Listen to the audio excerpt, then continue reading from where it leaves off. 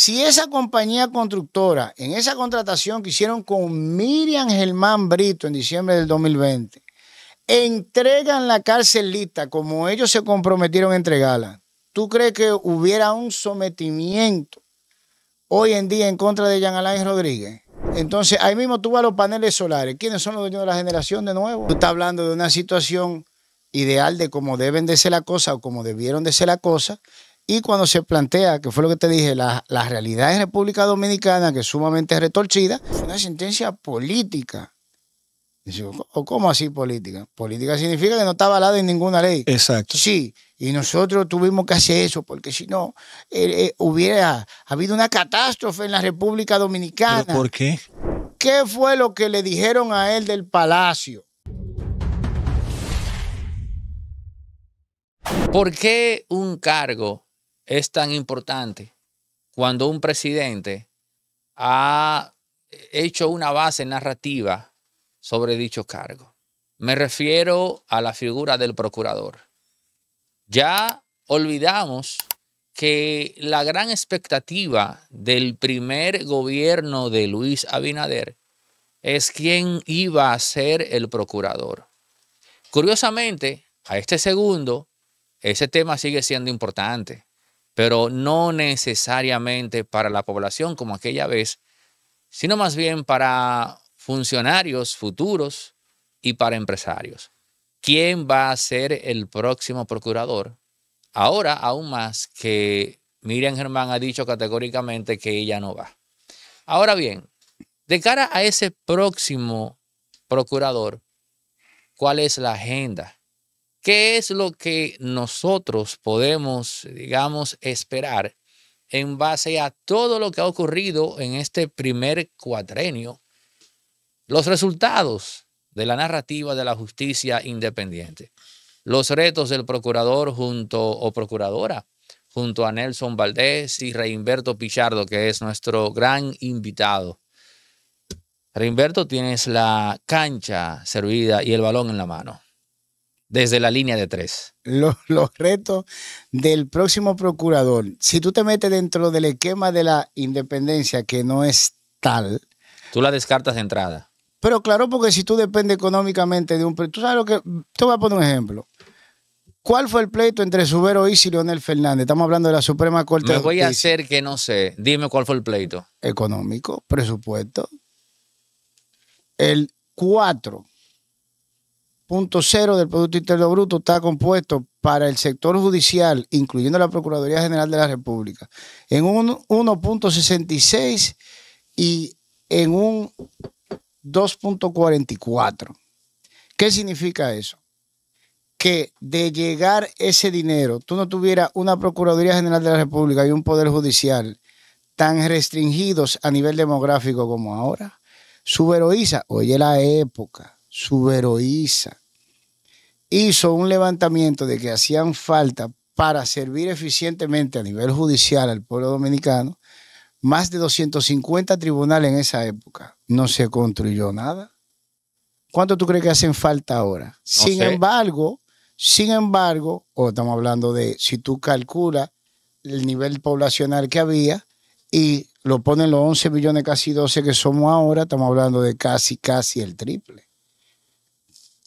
Eso te da una idea numérica. Sin embargo, eso no se ha hecho. Y nunca se ha entregado ese 4.0 completo. eh. Eso no existe. A ver si entiendo. Ahora bien, espérate. Pero es del Producto Interno Bruto. sí, Igual que educación. sí, No sabía. sí. Pero ese pleito es viejo. Ese pleito se echó. Nosotros, en Ciudadanos contra la Corrupción, presentamos la acción en declaratoria de inconstitucionalidad de esos presupuestos porque de los presupuestos en violación a ese número, porque el Poder Judicial, la Procuraduría General de la República, si no recibían el dinero, no iban a poder desarrollarse como no lo hicieron. En fin, ahora tú te das cuenta del nivel de importancia que tiene la economía dentro de una estructura estatal, máxime una estructura que es dinámica. ¿Qué significa eso? Los fiscales son los encargados de la investigación. Eso significa que ellos tienen que desplazarse a los lugares. Pero tú no has visto eso. Tú nada más lo ves en los allanamientos. ¿Tú no has visto un fiscal afuera haciendo una investigación de nada? Desde hace décadas. Pero eso es lo que ellos hacen. El fiscal, su primer rol es el de investigador. Tiene que recolectar la prueba, supervisa la recolección de pruebas, dirige la investigación preparatoria. No hacen nada de eso. No hay dinero. ¿Quién le lleva eso? ¿La policía? No hay, exacto. Se lo llevan, pero, Pero- ellos no están pero- ahí en el lugar. Pero da- dame, dame un segundo. Eh, tú estás planteando un esquema donde todo lo que es la parte forense de investigación es casi nula. Es decir, estamos llevando gente a juicio con proba- comprobatorias eh, o muy malas o muy falsas o muy... Hay una carencia ahí, obviamente. Te voy a decir una palabra, huellas digitales. Cuando tú has visto aquí en República Dominicana que se ha vinculado a una persona, a, una, a un objeto como un arma o a un lugar por sus huellas digitales, tú nunca has visto esa discusión. Tú sabes desde qué época se están utilizando las huellas digitales como evidencia forense. En el resto del mundo. Estamos hablando de casi 200 años. 200. Alberto, una, una, una reflexión que me ADN. viene... ADN en caso de violación, en caso de homicidio. no tenemos registro tampoco. Exactamente. Lo único ADN que se hacen es a requerimiento del tribunal cuando la paga la parte privada en los casos de paternidad. Que, hay, que, que, por cierto, paréntesis, te sorprenderías ir tú a los laboratorios, que se llama Amade- Amadita, Patria Arriba, tú vas a los laboratorios y las filas más largas siempre son las de requerimientos de pruebas de ADN por En tribunales. paternidad. No, paternidad. Por paternidad. O sea, tú vas a un laboratorio y tú vas a ver una fila y yo no sabía eso. Eso, eso de la prueba de ADN por paternidad, eso como yo buscar pan, como una fila de INEPRE.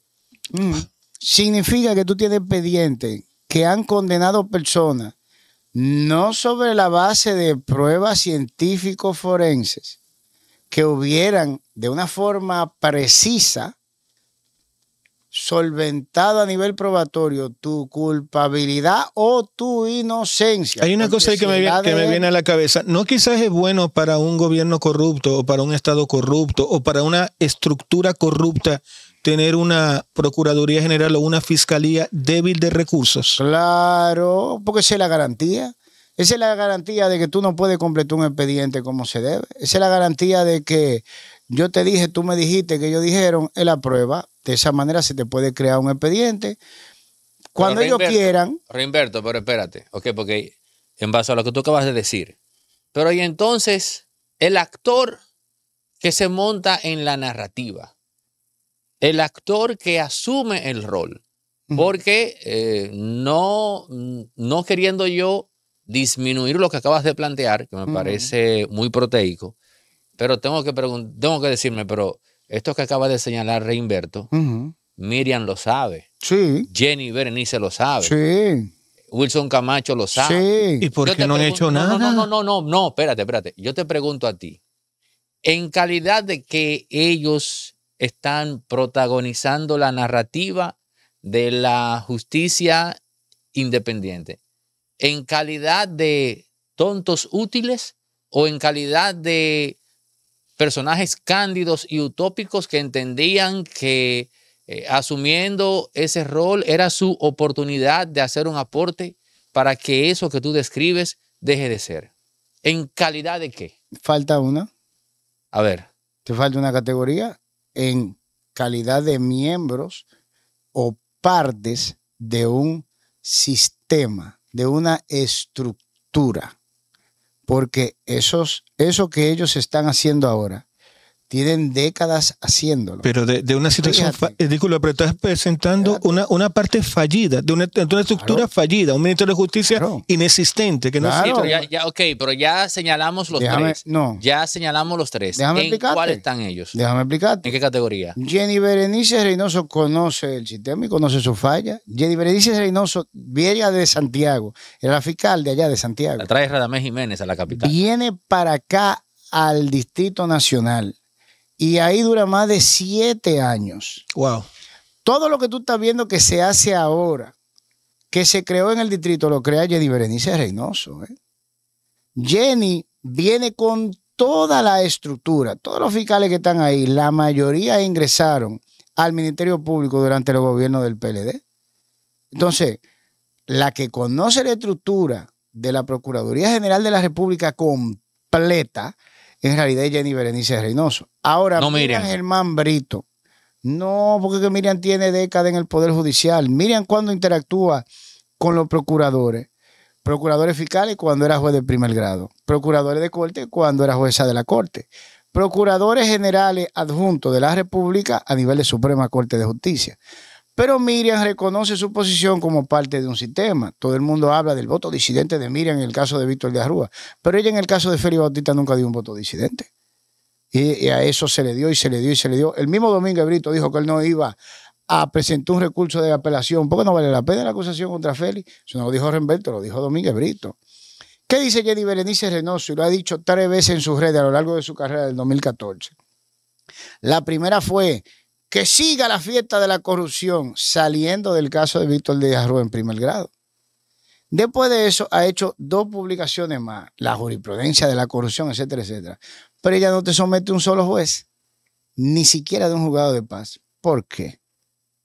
Ella tiene potestad para someter. Hay todo un capítulo en el Código Penal prevaricación, de coalición de funcionarios públicos, una serie de cargos que solo cometen los funcionarios públicos, sin embargo tú no has visto ninguno procesado, porque es parte de un esquema que ellos reconocen bastante bien.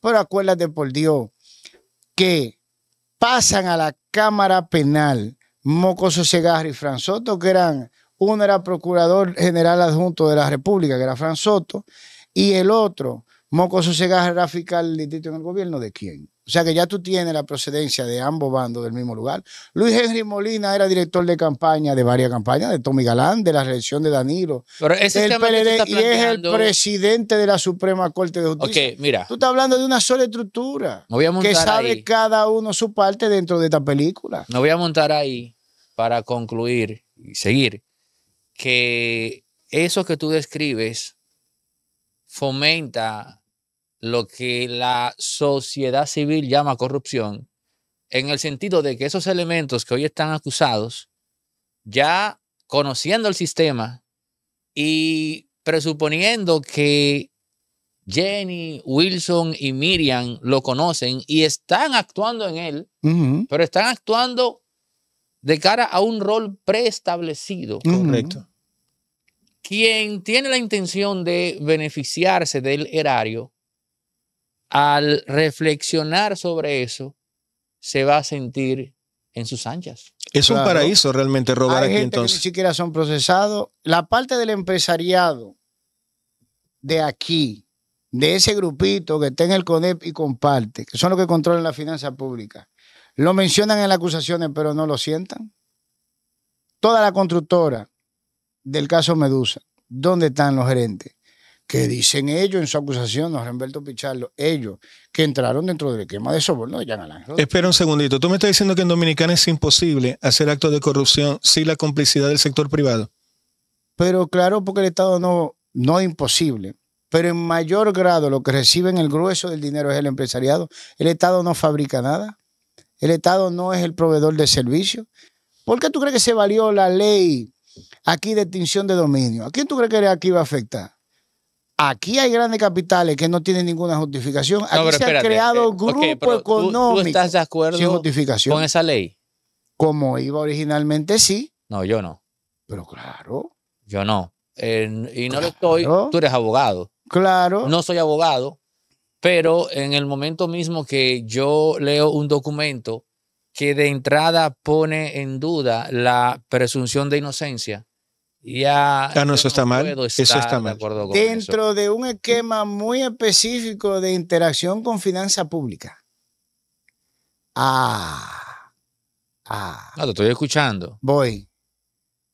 Tú no quieres el escrutinio público. Vete a trabajar para el Banco Popular, una empresa privada. Ahí tú conservas todo tu derecho como ciudadano. Ahí se aplica eso de no, no, yo no puedo cuestionarte de entrada. ¿Por qué? Porque tú no afectas a la colectividad. Tú no entras en contacto con dinero público. Ahora, cuando tú aceptas un cargo público, que son voluntarios, no es que el presidente agarre y dice, oye, te voy a poner tal. Y si tú agarras y dices, no, no, espérate, ¿cómo ha pasado? Escasas veces pero ha pasado. Mire, señor presidente, yo le agradezco la oportunidad, pero lamentablemente yo soy una persona que le gusta tener su privacidad. Yo soy comerciante, yo no tengo que ver con dinero público. Yo le agradezco que usted pensara en mí, pero mire, aquí tiene mi carta. Renunciando a su decisión, búsquese otra gente. Ha sucedido. Esa persona conserva todo su derecho. Ahora tú no puedes pretender bregar con los cuartos de todo el mundo y no tener cuestionamiento de todo el mundo, como si los cuartos fueran tuyos. Entonces tú decides ceder tu derecho. Cuando tú aceptas el cargo, es voluntario. Ahora tú entraste voluntariamente dentro de otro esquema judicial que no es el normal. Sin embargo, aquí se ha vendido la idea, precisamente por el mismo esquema judicial, Ministerio Público, de que una persona en una condición especial de administración de fondos públicos le hace dinero de todo el mundo, que tiene un régimen especial en cuanto a su persecución, tiene la misma prerrogativa que una persona en la circunstancia privada y no es verdad. Eso es parte de... No, no, derecho, no, no, espérese. Usted renuncia a su derecho al momento en que usted decide entrar en contacto y administrar finanzas públicas. Ahora, tú crees, y es por donde voy yo y por lo que me opongo a esa ley, que todo eso que tú has escrito se le va a aplicar a un exfuncionario. Óyeme bien, esa ley de extinción de dominio, para lo único que va a servir en la práctica es para hacerle la vida difícil eh, a gente de clase media, clase media alta, que tiene su dinero honradamente y que, oye, escucha, porque yo conozco mi país, yo conozco mi país, o sea, Sí, eso es Ah, una no, cosa. ah, ah, eh, Te oye, dije oye esto, no, eh, porque esta ley, porque fula- ¿sabes lo que va a pasar? Eh, su señoría, whatever, maestro, magistrado, pero es que a fulano de tal, un empresario, lo que sea, aquí se ha procedido mal, porque a él lo han instrumentalizado usando una ley de extinción de dominio como si él fuese un funcionario público. Estoy, estoy en base a lo que tú dices. Pero para cuando el abogado defensor venga a decir eso, Nelson, ya ese empresario de clase media, media alta, tendrá sus, habrá tenido sus bienes incautados, su nombre barajándose públicamente. Conocemos República Dominicana.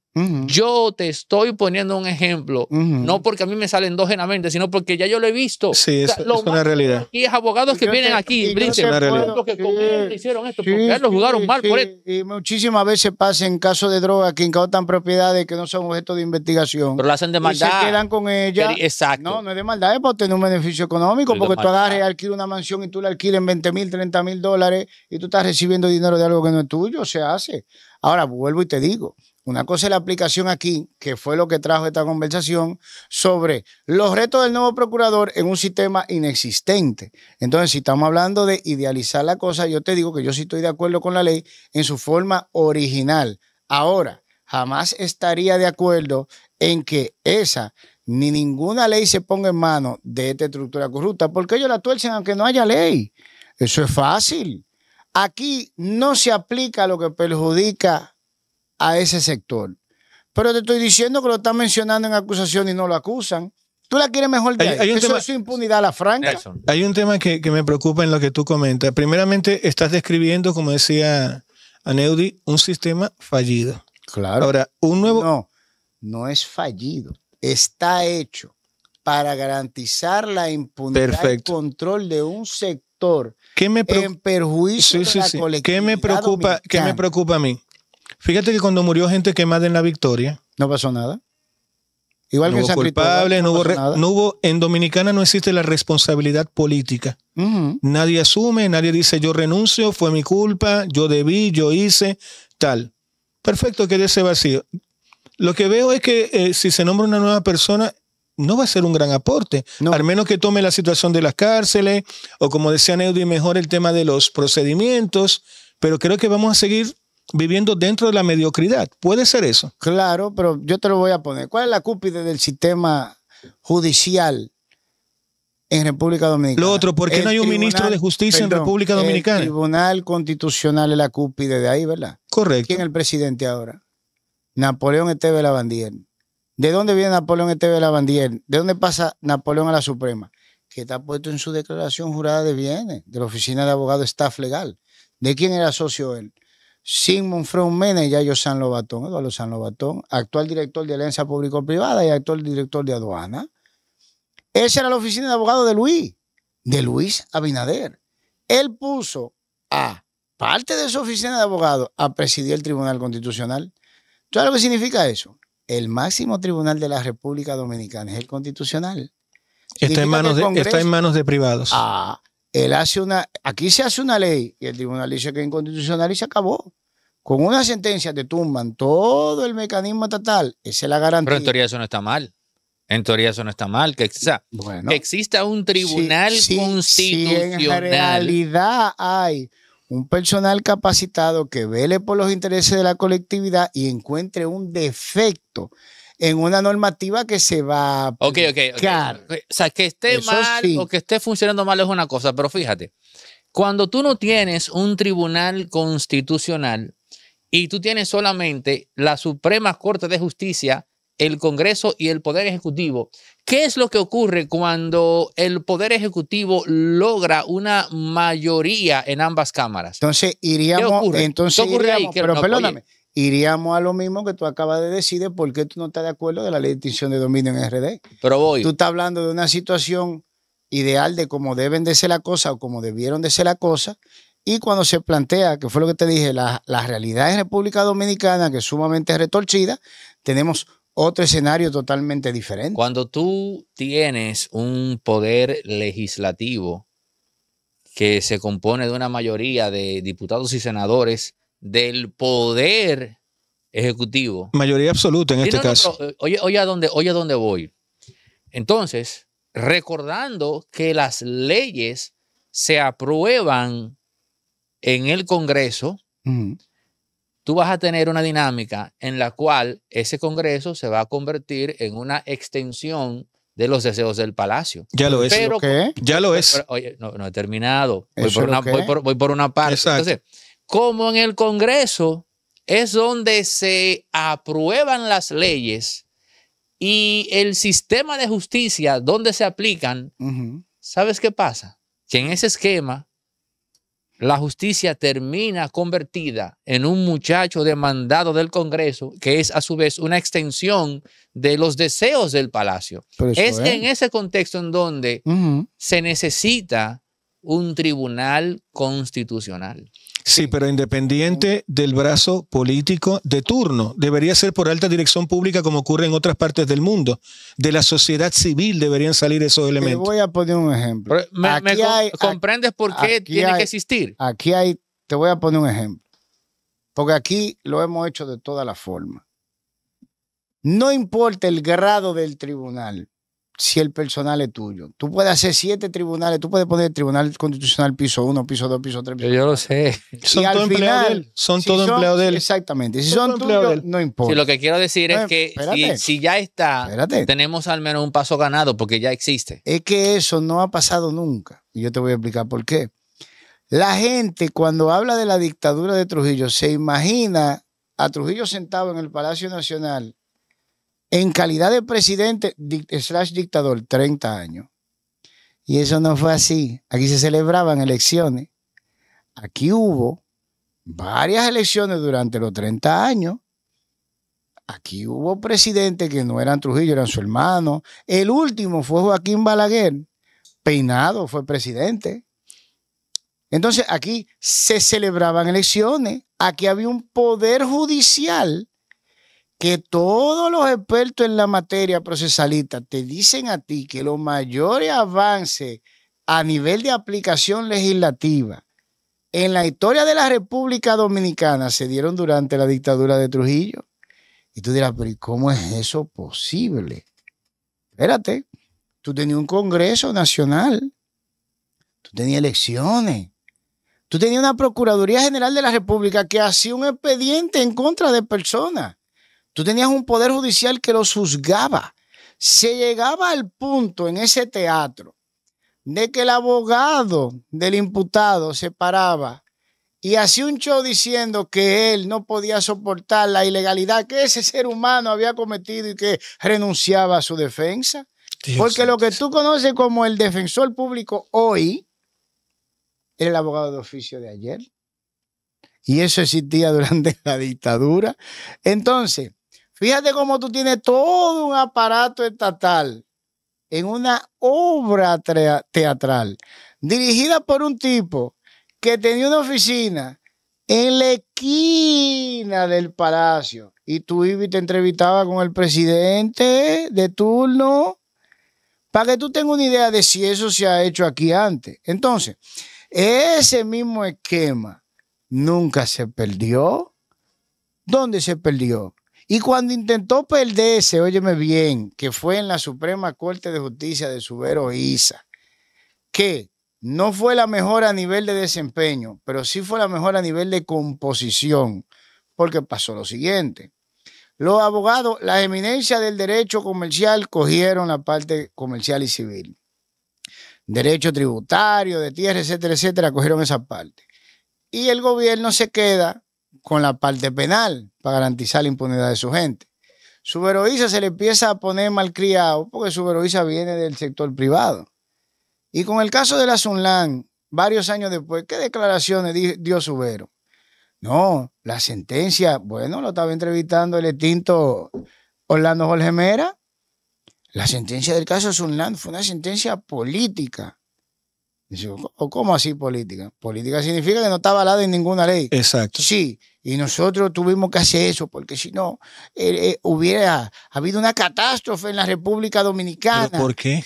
Por meter preso a quien debe estar preso. Pero no, y aquel quiere decir con catástrofe, iban a ven- envenenar agua.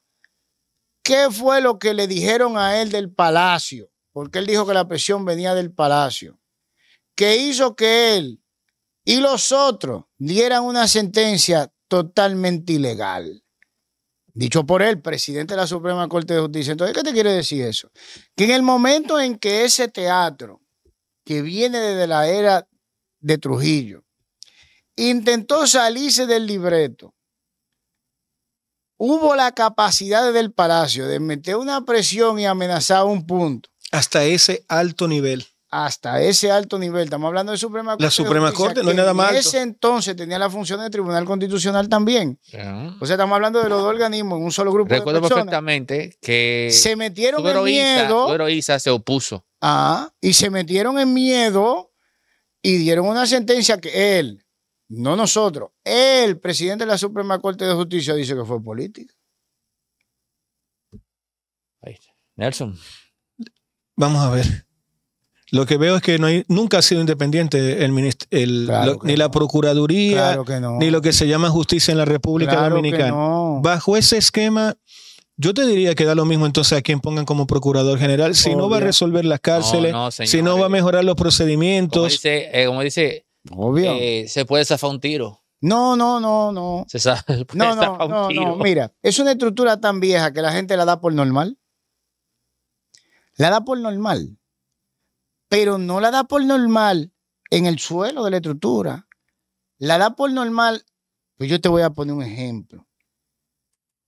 Tú viste las declaraciones que dio Jenny Berenice Reynoso en la salida de un tribunal con respecto a el caso Medusa, diciendo que el sistema de humanización del, del- del sistema penitenciario había sido una estafa al pueblo dominicano de más de 10 mil millones.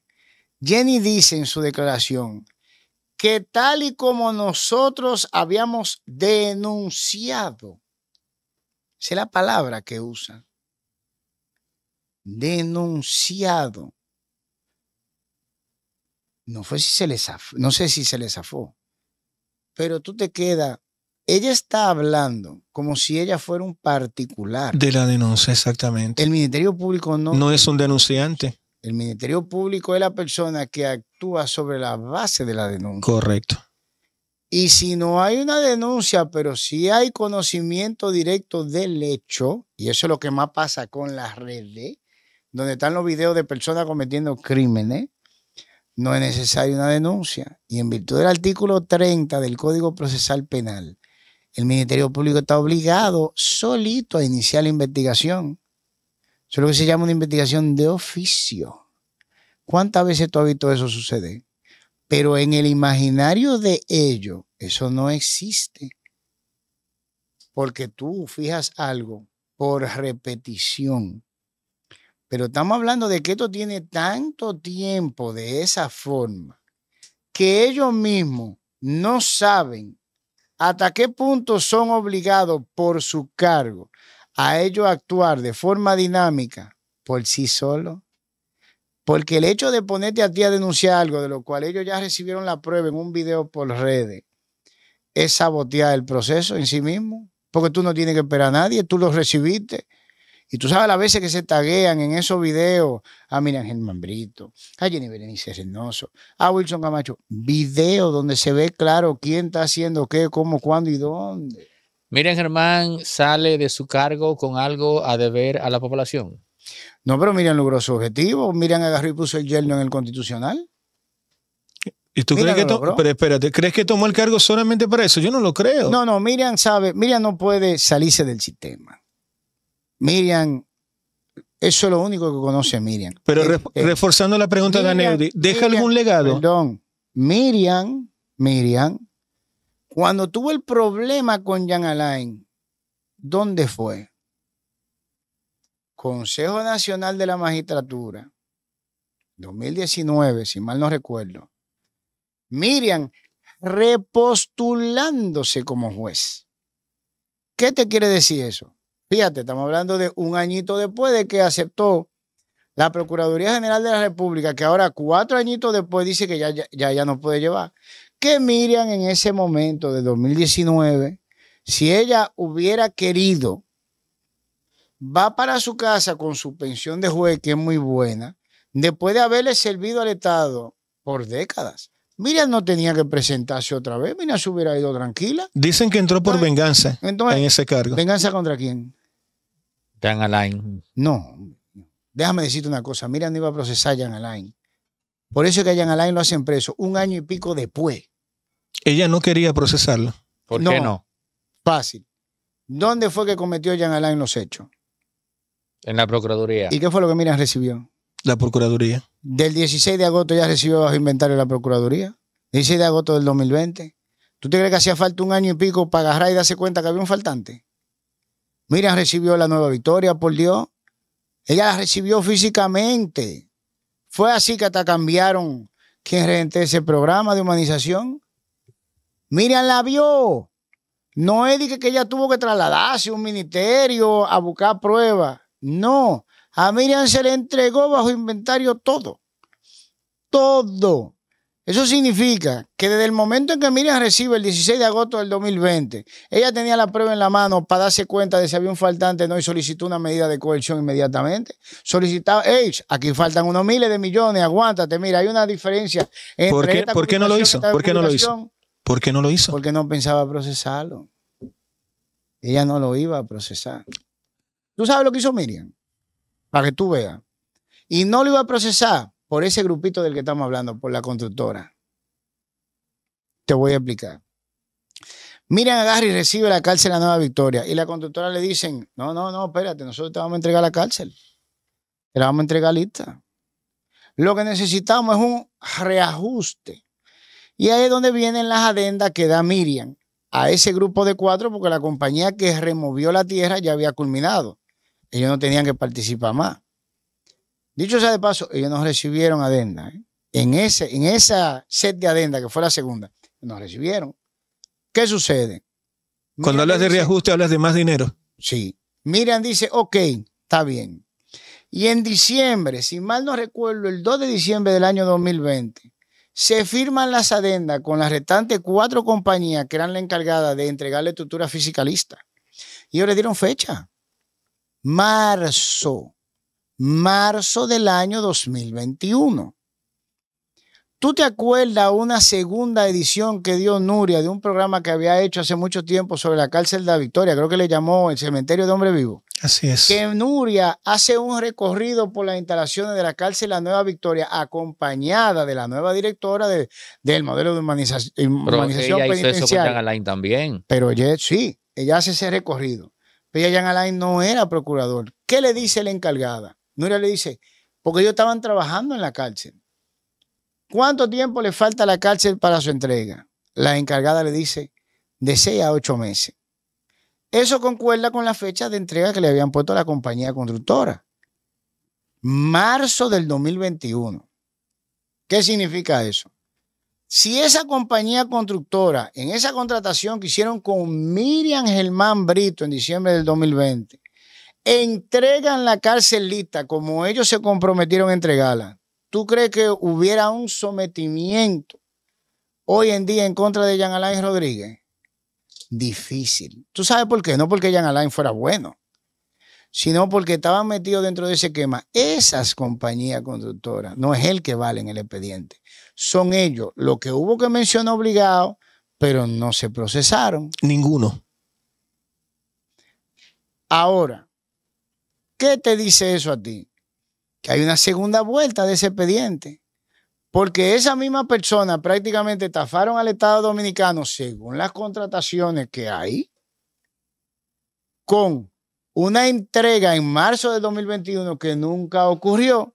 Sin embargo, tú no ves que por ese nuevo hecho que se da desde diciembre del 2020, fíjate, estamos hablando gestión de Miriam, a marzo del 2021, no hay nadie procesado y es una infracción independiente porque fue un contrato. Pero nuevo. la pregunta, es, nuestra ley es muy... hay un, Entonces, hay un fíjate. vacío legal que ellos no están presos. No, ¿Por no, qué no, no, están no presos? lo hay, no lo hay, tenían que estar presos todos.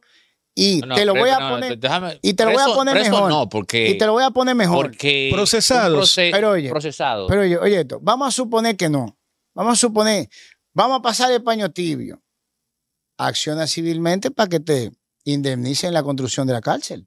También la Procuraduría General de la República puede hacer eso. Eso es lo que tiene la representación del Estado en cualquier materia. Así es. O sea que ellos pueden agarrar y decir, mira, vamos a hacer una cosa.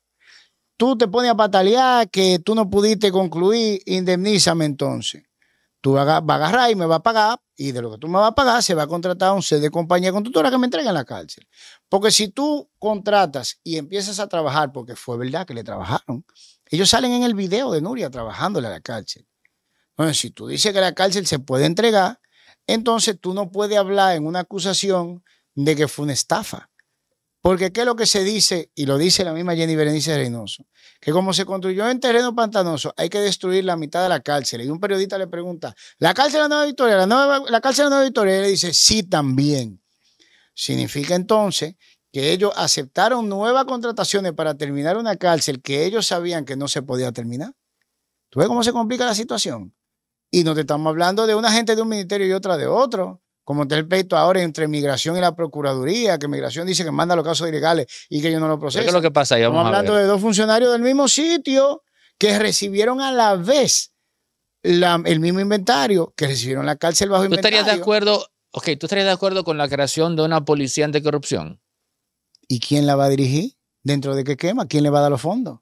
Los mismos tipos que ellos van a perseguir. Supuestamente el Ministerio Público. Ajá, y el. Ministerio Público no tiene cuarto ellos. Eso fue lo primero que hizo Miriam, ponerse a patalear por dos mil millones más para pagarle los sueldos a su gente. Y eso está ahí, eso no lo dije yo. E inclusive utilizó el argumento de la cárcel La Nueva Victoria para que le dieran los cuartos. Así de sencillo. Yo- Ella dijo que las contrataciones y la deuda que había asumido la gestión anterior habían dejado sinfónica, había un faltante para pagar los sueldos de dos mil millones de pesos y se lo dieron desde que mencionó Yo eso. lo que me da Estaba Macarrulla ya. A mí lo que me da risa es que crean una policía anticorrupción y graba esto. Recuerda mis palabras. Si crean la bendita policía, van a terminar luego entregándosela a la Policía Nacional. Como todo, pasó con Como todo. Así es. Como todo. Pero es que eso no es, eso no es que dique. Es que esto está muy, muy bien repartido. Al Grupo Económico que controla la finanza pública no le interesa más que la compra de esos sectores. Por eso se crea un fideicomiso de la policía. Sin embargo, Para privatizarlo. cuando tú agarras, no, a ellos no le interesan los agentes, a ellos les interesan el manejo de la compra. Por eso te digo y lo he dicho, esto está llegando a un punto tan ridículo que los agentes policiales van a andar en cuero en el vehículo, pero van a andar en una doble cabina del año nueva. Porque no tienen esposa, pero andan en una Hilux nuevecita. Porque la compra del, del vehículo tiene un margen de beneficio enorme. La compra de la esposa, que es lo que necesitan para controlarte a ti y llevarte arrestado, porque después de que tú estás controlado, te pueden llevarte en bola, en un motor, como hacen lo del DICRIM. Entonces las esposas son más necesarias para controlarte que el vehículo en el cual te vamos a llevar. Pero la inversión se va hacia esa compra grande de equipo y en desmedro de la vida del propio agente policial, no invierten en la seguridad de él ni en los utensilios que le van a dar la seguridad a él y al que van a transportar. Tú sabes que me llama la atención, eh, escuchando tu reflexión, dos cosas. Una vez me tocó conversar con una persona en la alcaldía. Entonces yo le decía, disculpe, pero ¿por qué hay tanta basura? Si se supone que ustedes llegaron para hacer un cambio, un etcétera. Y él fuera de cámara, porque de frente a cámara no me lo dijo, me dice, es que es muy difícil eh, eh, luchar contra las mafias.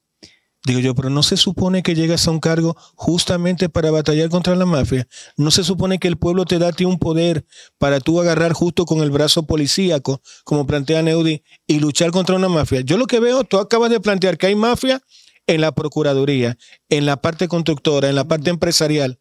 ¿Cómo se, cómo se desmonta una mafia? Desmontando la estructura económica que se alimenta de ella.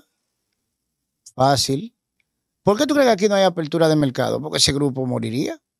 Nosotros tenemos un mercado forzado a mantener un modelo económico que en 1960 era moderno, pero ya en 1990 era obsoleto porque ¿qué entró en juego? El mercado de la tecnología. Pero el mercado de la tecnología por sí deja dinero, pero también re- reestructuró todos los otros mercados e hicieron que actividades que antes eran impensables pasaran a primer rango en inversión, porque la tecnología lo viabilizó. Se podían hacer cosas que no se podían hacer antes. Ahora, ¿qué sucede? Fíjate en esto. Tú tienes un grupo económico que tiene aquí eso paralizado en el tiempo, porque lo único que conocen es ese mercado. Por eso lo que hacen es intentar sacarle cada vez más cuarto al mismo grupo. Porque tú no puedes vender un servicio deficiente y altamente caro en toda la parte del mundo. Tú no puedes exportar tu producto de servicio. Tú no puedes fabricar porquería y presentarlo a un mercado internacional, lo cual hubiera... Pero acá sí puedes hacerlo. Exactamente. ¿Por qué tú crees que... ¿Tú sabes cuál es el, el grupo que más ha forzado porque se apertura la frontera con Haití? Calladito. Desde aquí adentro. Ese grupo económico. Pero ¿Cuál es ese ¿Tú grupo sabes por económico? qué? ¿Cuál es ese grupo? Oh, mira, tú tienes a Vicini metido ahí, que hacía negocio con Gilbert Elvillo en los puertos. Tú tienes a los Benetti, que hacían negocio con Gilbert Elvillo en los puertos. Lo dice el Listín Diario, no lo dice Remberto, en un reportaje que ellos hicieron. Tú tienes a los a los Bermúdez o Barceló, si mal no recuerdo, haciendo negocio con Gilbert Elvillo. Pero por Dios, el inmueble pero. Elvillo, perdón, Espérate, espérate. el inmueble donde está y con los otros ligar haitiano, pues eso hace décadas. Entonces, pero, espérate, Yo te tú me, pediste una, tú me hiciste una pregunta y yo te la estoy contestando. Entonces, ¿qué te quiere decir eso a ti? ¿Cuál es el esquema de Gilbert Villo y de ese grupo de haitianos que del país o de uno de los países más pobres del mundo salen billonarios en dólares? Precisamente el mismo esquema de secuestro de mercado de aquí. Porque lo que ellos hacen solo lo pueden vender allá. Entonces, ellos drenan al pueblo dominicano de todas las formas. Porque ellos te forzan a ti a comprar el servicio que ellos dan. Pero los impuestos que tú pagas también paran en su bolsillo porque ellos son licitadores para todo. Te voy a poner un ejemplo. Los Vicini. Los Vicini tienen generador eléctrica. Metaldón, viejo, está registrado como una generadora eléctrica. Y yo te voy a hacer una pregunta. ¿Tú te crees que aparece un inspector que diga, ven acá, pero tú estás generando, tú estabas generando para tu empresa de metales, de fundición, y tú no estabas cargando eso a nosotros? ¿Tú crees que aparece uno que pueda decir eso? Obviamente estamos hablando presuntamente. La figura no aparece. ¿Por qué?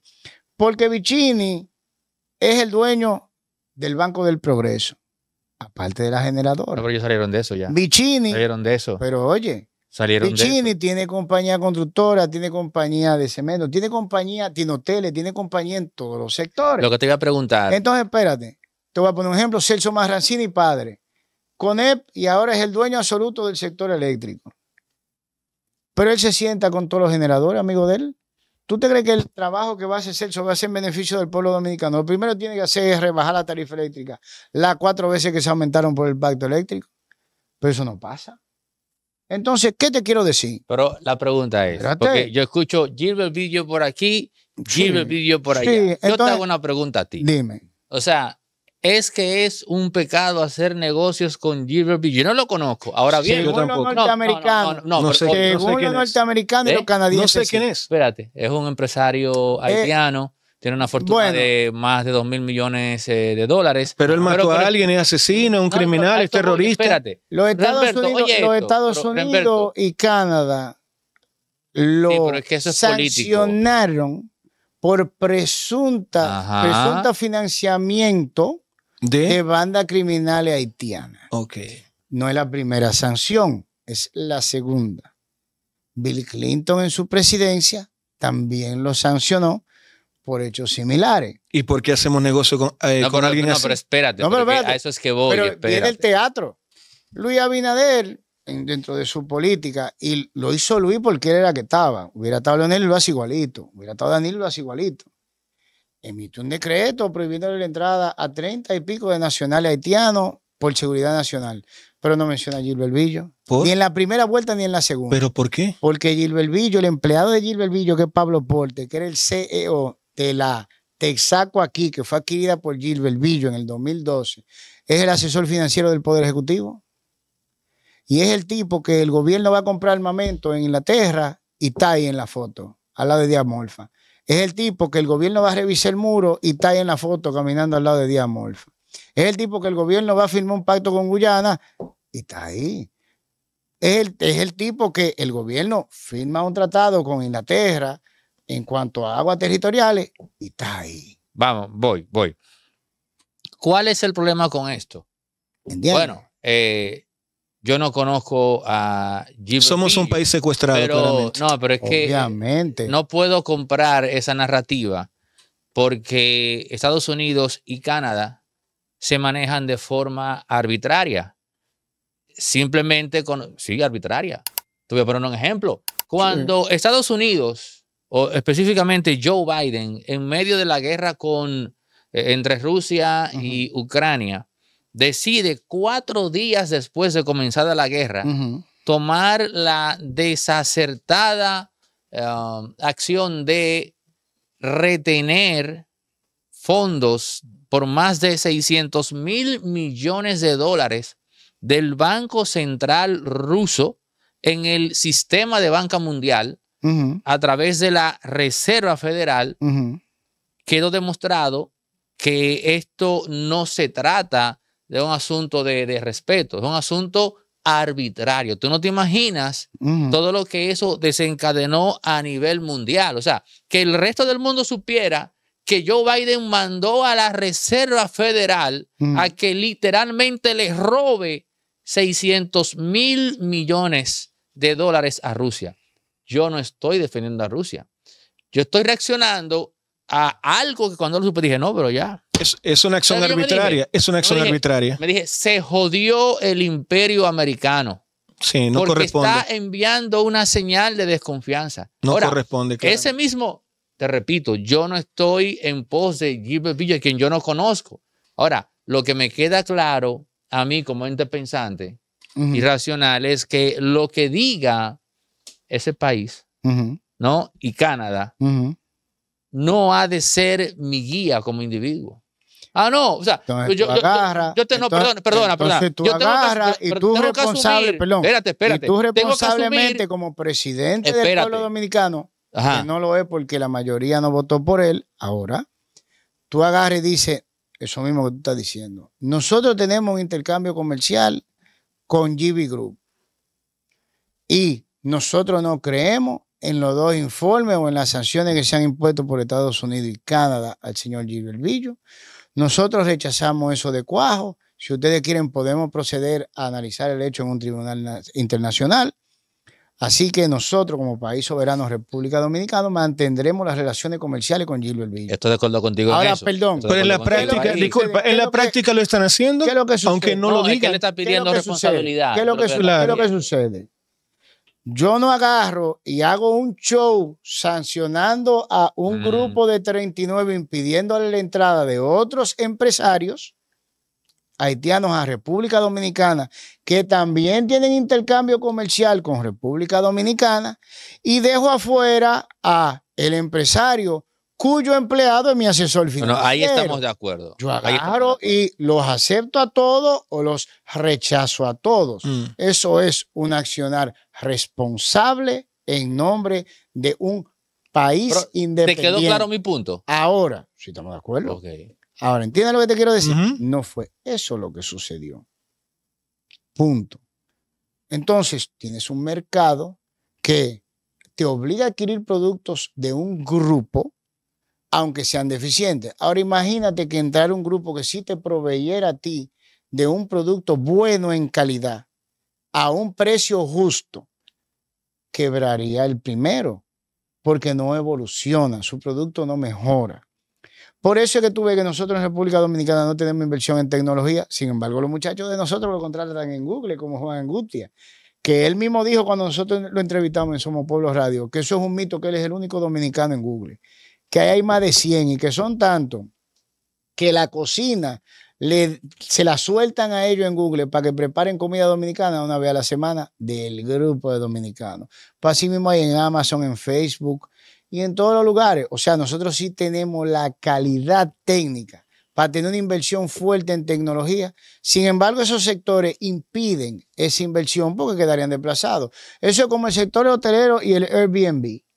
El Airbnb es una inversión directa del turista del Airbnb al pueblo porque él compra y cubre todas sus necesidades en el mercado local. Sin embargo, tú te vas un todo incluido que no paga impuesto aquí, que tú pagas tu reserva con una cuenta a una offshore fuera y que ellos se autoabastecen de todos sus productos porque son los dueños de la granja, son los dueños de todos los servicios que se le provee a una compañía hermana de hotel. Y hay una práctica que la gente desconoce. Tú agarras y pones una empresa turística y esa empresa es la que compra el abastecimiento de las otras empresas que no son turísticas. Material gastable, combustible, lo que sea, porque sale exonerado de impuestos, pero tú estás abasteciendo con esa empresa turística a todas las otras de tu operación. No, yo te voy a hacer una pregunta a ti. ¿Por qué quieren agarrar y grabar tan alto el Airbnb cuando el ingreso de dinero directo al pueblo dominicano es sustancial, es directo y es comprobable? Y ellos sí pagarían al adquirir los productos locales los impuestos locales. Porque toca sus intereses, claramente. Ah, entonces ahí mismo tú vas a los paneles solares. ¿Quiénes son los dueños de la generación de nuevo? No es el mismo grupo. Quieren grabar los paneles solares. En vez de viabilizar la producción de la MIPYME para que crezcan y se amplíe la base impositiva y no tengamos un déficit. No, no, no, no. Hay que regular esa actividad para que no pueda crecer y que las otras empresas no crezcan a fin de que ese grupito tenga el acceso a todo el dinero sin dejar que los otros aumenten su capacidad, que es lo que beneficiaría un Estado real. Te tengo que hacer una pregunta en base a lo que comentas. Si es tan terrible y tan dantesco la situación de República Dominicana, ¿qué solución tenemos si estamos secuestrados por un grupo empresarial tan poderoso? Luis lo hizo por nosotros.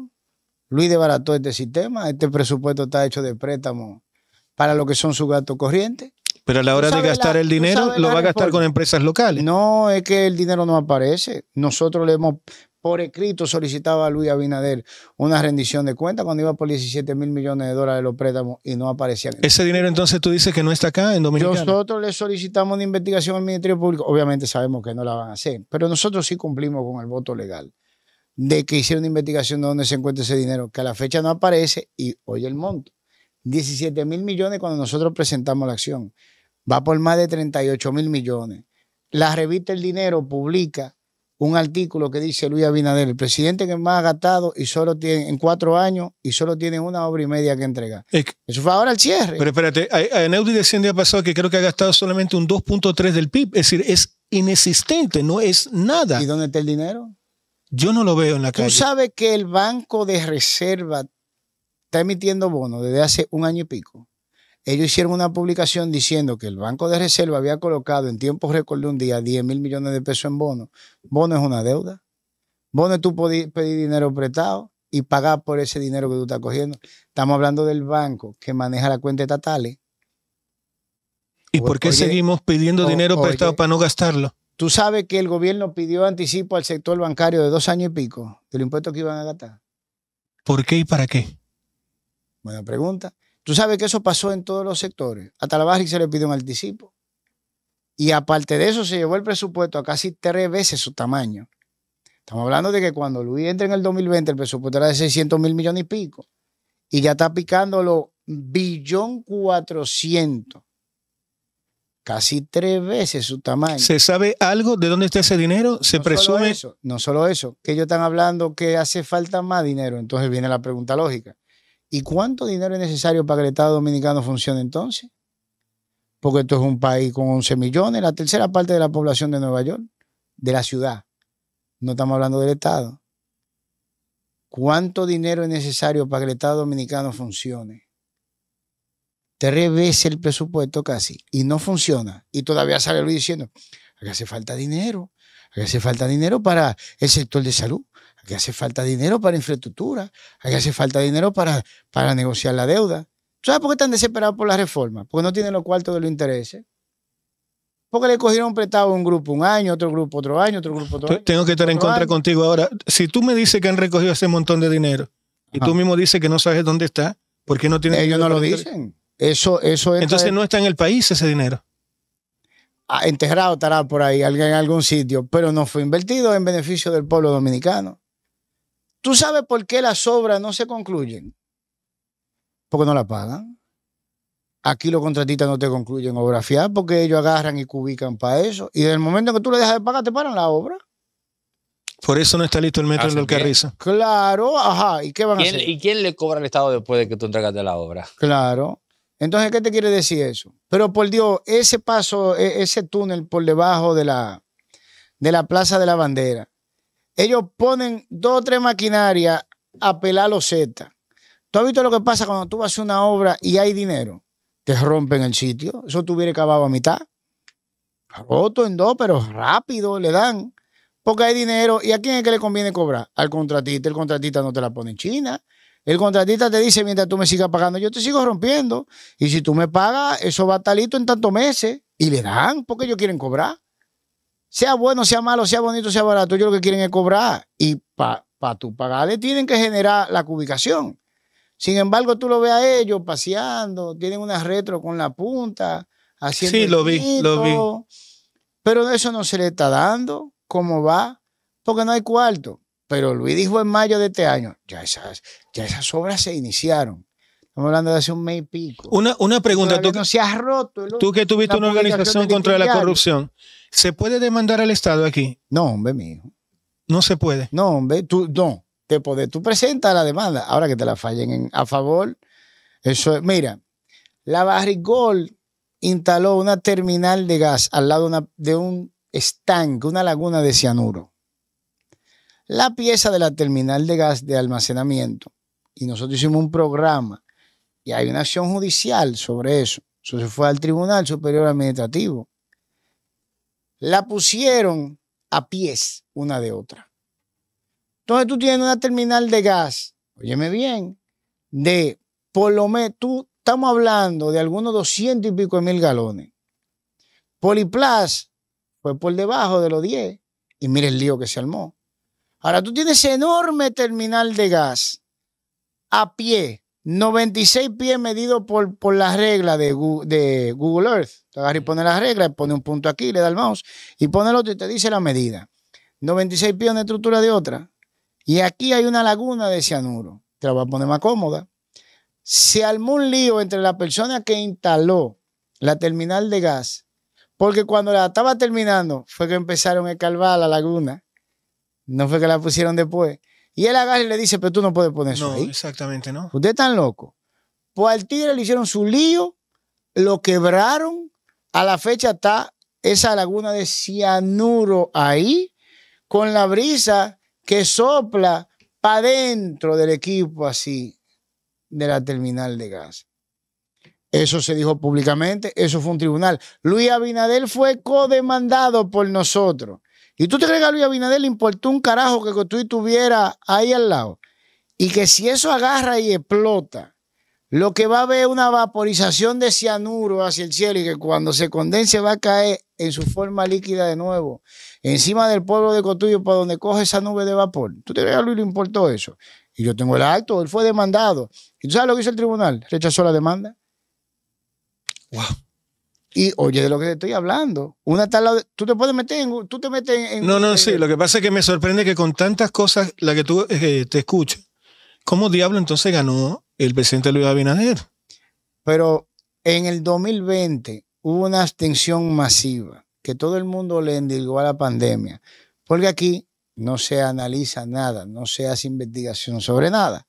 Si agarran y ven el patrón que viene tres elecciones atrás, se hubieran dado cuenta que es una tendencia física en caída de la asistencia del electorado al certamen electoral. Lo que pasó en la pandemia no fue por la pandemia, ya venía en curso. Se refleja en las municipales. Y todo el mundo agarra y se sigue metiendo el cuento de no, esto es un país presidencialista. Tú verás, ahí van a agarrar y van a ir masivamente. El mismo Luis Equipo y el empresariado estaba contando con eso. En las presidenciales fue peor, fue menos gente ahora que en la pandemia. Igual ganó. ¿Qué significa eso? Que él ganó con más del 70% del electorado sin votar por él. Ahora tenemos un problema. Luis es el presidente de la República, pero no el presidente del pueblo dominicano. Eso significa que él no puede aburrir el pueblo dominicano, que está bastante aburrido, no solo de él, del sistema entero, porque ellos no fueron a votar por otro partido, ellos no fueron punto. Tú no ves que la ley del DNI no se ha modificado, tú no has visto que han recogido a nadie con ella. Tú no ves que están pidiendo, por favor, vamos a reunirnos para pasar la reforma fiscal. Esto tiene que ser consensuado. Eso es para quitarse la responsabilidad de pasar. Del la- fuetazo que viene. Claro. ¿Y qué fue lo primero que hicieron los otros partidos que quieren sobrevivir, aunque no importa cuánto corran?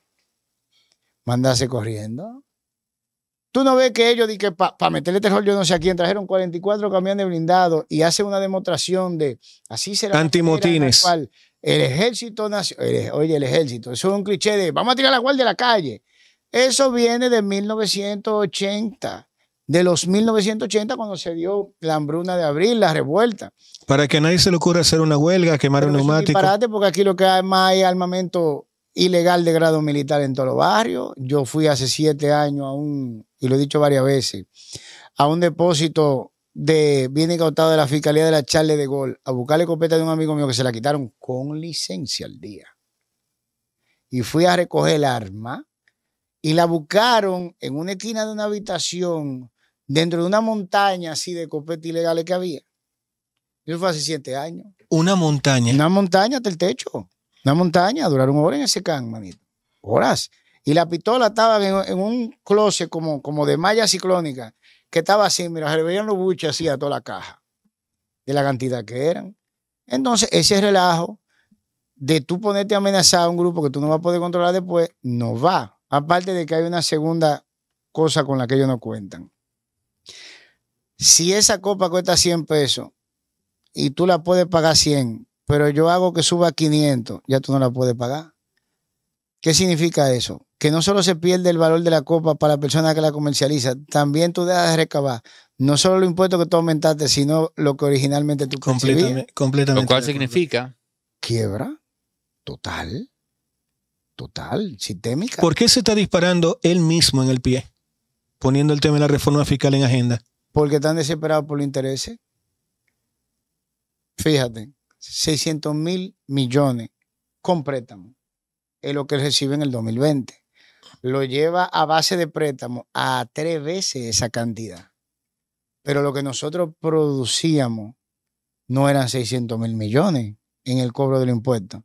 Eran menos porque ya había préstamos. Ahora tú coges ese ínfimo número, ponle tú 400 mil millones o menos, y tú coges todos esos acreedores que tenemos exigiendo sus intereses, los cuales van aumentando progresivamente porque al que tú le pediste en el 2020 prestado, ya tú tienes tres años pagando el interés. Al que tú le pediste en el 2021, tú tienes dos. Al que le pediste en el 2022, me voy a entender, tú tienes uno. Y así subsecuentemente. O dos, perdón. Pero hay algo que todavía no me- Ahora- no, me responde. ahora. ¿Cómo una persona tan Espérate. mal administrador Espérate. gana unas elecciones?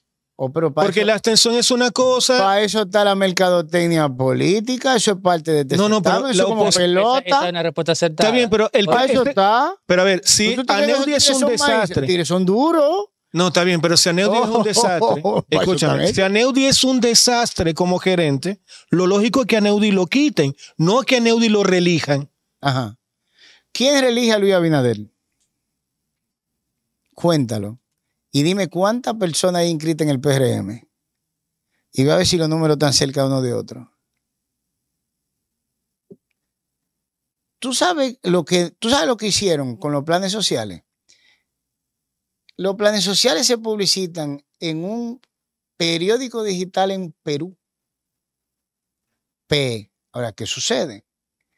Como el tema es de República Dominicana ¿qué hace la inteligencia artificial de Google? Que si tú estás en República Dominicana, por la ubicación de tu dispositivo, te pone en todos los temas que te salen en el listado cuando tú hablas el buscador, que te salen publicaciones de Diario Libre, te salen publicaciones de la... ¿verdad? Sí, sí, sí. Te pone los bonos de República Dominicana en esa línea, aún salgan en Perú. Eso tú lo puedes ver a diario, un bono nuevo, y eso sigue circulando sin parar desde hace cuatro años. Tú sabes lo que es el CTC. CTC es Comisión Técnica eh, del Cambio. Eso empezó casi concomitantemente con el ascenso de Luis al poder. El CTC es una comisión técnica dedicada precisamente a la mercadotecnia política en beneficio del partido de gobierno. ¿Cómo tú crees que se financia esa monstruosidad? Tú sabes que Luis puso en uso, y ahí está la publicación, una inteligencia artificial que se llama Taina, que se supone era que detectara casos de corrupción e mejorara los servicios públicos. Pero nadie ha interactuado con esa inteligencia artificial nunca. Sin embargo, ya la pusieron en funcionamiento. ¿Y qué está haciendo Taina exactamente en este momento? Oh, tú no te fijas que cada vez que nosotros hablamos de un tema sale una campaña publicitaria desde el Palacio en contra de lo que nosotros estamos diciendo. Nosotros estamos hablando de la crisis haitiana. Ahora sale una campaña publicitaria de todos los artistas dominicanos diciendo, orgulloso de ser de aquí. ¿De dónde tú crees que sale la idea? Y la, y la de la carita de la independencia que pasó el, eh, en febrero y todavía estaba eso rodando en la pantalla de colorín. Ahora hay un, un, un rap, un, un dembow básicamente con el himno nacional. ¿Y qué es lo que está caliente? El tema haitiano. ¿Qué tú crees que hace esa máquina? Esa máquina tiene la capacidad de ubicar las opiniones contrarias y ayudarlos a ellos a identificarlas y diseñar lo que ellos entienden es una campaña mediática en contra de eso. Bueno, Pero Vicente de Bengochea, tú sabes por qué le conocí, Bengochea. digo Mauricio, perdón, de Bengochea, tú sabes por qué le he conocido, ¿verdad? No. Por el lío que se le armó por, por los bots, el uso de bots. Eso es lo que le hace. Pero Mauricio no solo es el asesor de Luis. Mauricio fue el asesor de Leonel. La arquitectura dominicana, Mauricio se la conoce muy bien. La maquinaria propagandística para la reelección, sin importar el candidato, Mauricio la diseñó. Y no de ahora, tú te vas, tú buscas Mauricio de Bengochea, él tiene una firma de asesores políticos. Y la primera carita que te la de Luis. Primera elección ganada en pandemia. Pero cuando tú le das para abajo, para tú ver los diferentes clientes, sale Leonel. Desde el principio, desde que se estructuró la maquinaria político-mediática que la crea el PLD, Mauricio estaba ahí. Mauricio conoce al pueblo dominicano mejor de lo que el pueblo dominicano se conoce. Para que tú estés claro. Bueno, él tiene la nacionalidad dominicana que se la dio Luis.